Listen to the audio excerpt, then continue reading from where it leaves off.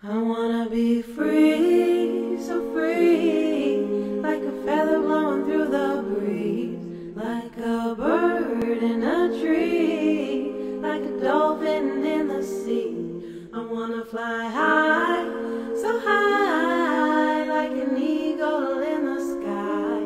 And when my time has come, I'll let it all go with a sigh. Pachamama, I'm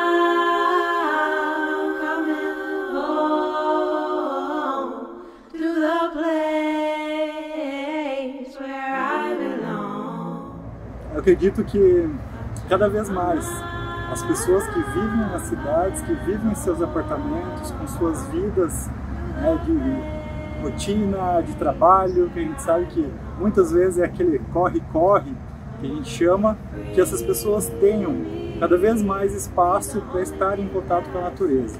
Seja em uma floresta, seja perto de uma montanha, seja com o mar, com os rios, porque quanto mais o ser humano estiver perto da natureza, mais ele vai conseguir entender que somos parte dela, que não, não existe eu humano e lá as florestas, os animais, que somos todos parte de uma mesma rede. Então, para mim, isso fica como uma principal mensagem para as pessoas que vão conhecer um pouco mais sobre o nosso trabalho e estar com a gente.